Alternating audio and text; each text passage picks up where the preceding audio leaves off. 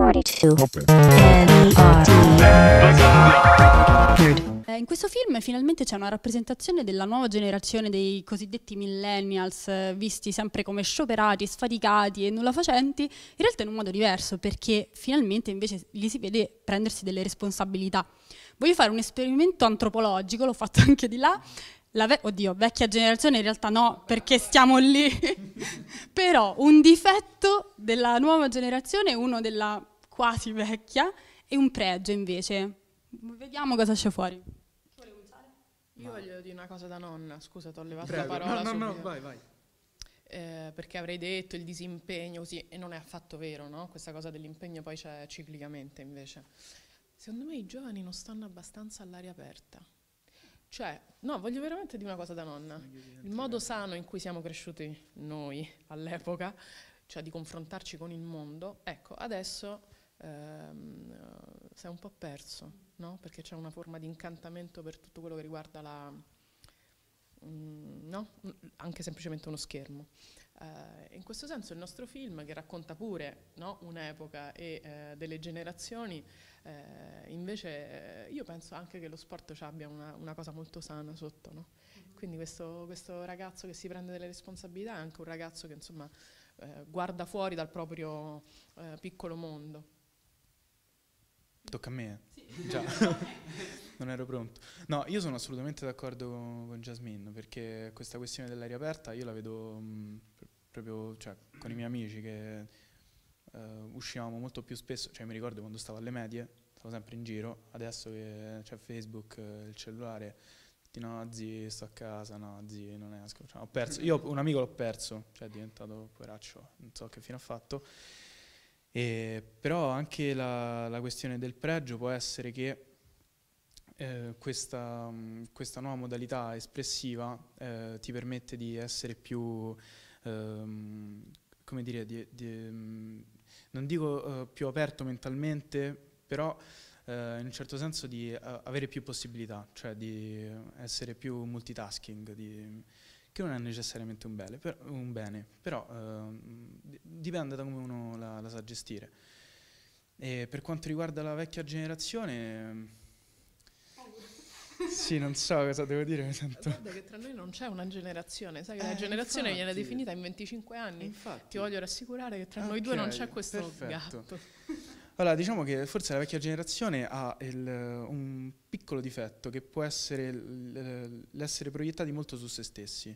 Cioè, ehm, è la prima vera generazione di, ehm, ehm, come dire, mm, Individualisti. individualisti, sì, di, di persone che eh, iniziano a, a far un po' decadere il valore del gruppo.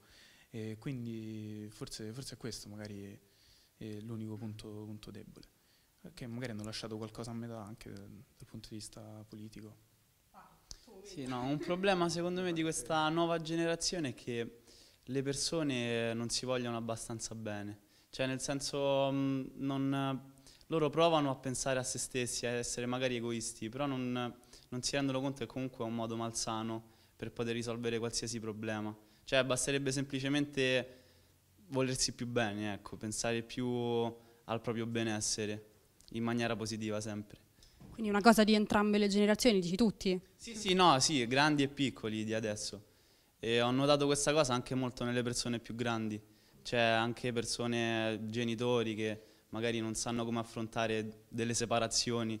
Cioè a me sembra che noi, noi ragazzi magari sappiamo affrontare meglio alcune cose di questo ambito. E, no, secondo me un problema della vecchia generazione è proprio la chiusura mentale che hanno proprio sulla vita in generale. Che...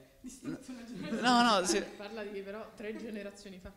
sì, no, molte, cioè più generazioni fa questo sì. Già quella prima di noi, che mm, cioè, sui 30-40 anni comunque, già sono molto più aperti mentalmente, di magari 60 anni fa. E secondo me eh, proprio questa chiusura menta- mentale è andata a influire sull'educazione che hanno dato su i, bambini, i nostri genitori di adesso, che a sua volta ci hanno educato in una maniera diversa, che comunque è sbagliata perché, cioè secondo me, perché ehm, magari per non farci passare quello che hanno passato loro negativamente, hanno trascurato altre cose importanti e magari mh, si vanno a creare, a creare altri problemi dopo. E questo. Facciamo una controprova. A Torino a voi due avevo chiesto se avevate avuto da adolescenti o da bambini una figura che vi aveva ispirato particolarmente e che aveva detto, oh mio Dio, sì, eh, voglio diventare come lui o come lei da grande. Voglio vedere la controprova se mi dite lo stesso nome che mi avete fatto a Torino e tu intanto che loro mi rispondono ci puoi pensare. Okay. Pensaci. Poi Vediamo. in post-produzione si migliora tutto. Vediamo. Chi è? Chi è? Ma io per la filosofia di vita sempre lo stesso, me lo sentivo da bambino, me lo sento anche adesso a Giovanotti. Cioè. Superato la prova. Poi ovviamente eh, a un altro livello c'è Totti, però è irraggiungibile, quindi no. Ti, piacerebbe eh, arrivare come Giovanotti? Ah, come Giovanotti a Eh? 50 anni, ma che scherzi. Ma io ti ho fatto dei nomi? Sì, Hai- Cioè, ho, ca- ho caricato qualcuno di questa responsabilità di essere stato un modello? Mm, Nel campo del cinema o nel campo della vita reale? Vissuta. Del cinema. Ma tu te lo ricordi soprattutto cosa ho detto? Eh, nonna, non si ricorda niente. No, no, I neuroni. Poverina, l'Alzheimer, Niente inizia- proprio. demenza senile precoce. Bene tutto. Era Gillian Anderson comunque, di X-Files. Modello, ti ho detto che era il mio mito da piccola, ma comunque a 12 anni non si sa bene quello che è. Grande attrice, tra l'altro. Però posso dirti che l'altro giorno cercavo di rivedere X-Files e non ho proprio più l'età e il coraggio per vedermi una puntata di X-Files da sola. Pensa come... Come cade un po'. No, nessun idolo in particolare se non mio fratello. Mio fratello più grande, sì.